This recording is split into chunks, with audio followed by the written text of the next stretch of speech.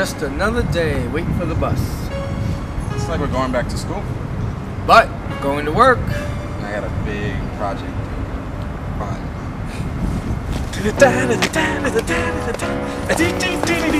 Fun.